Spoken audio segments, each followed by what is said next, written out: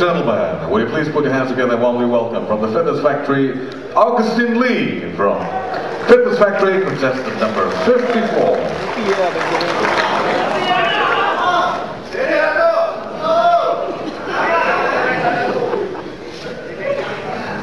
lại lại chưa bắt được tay rồi à à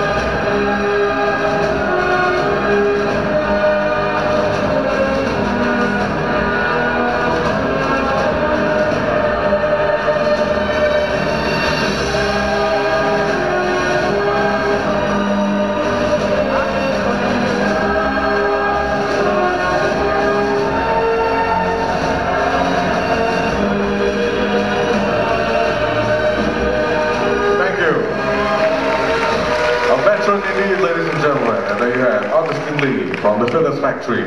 Oh, ladies and gentlemen, our next contestant here.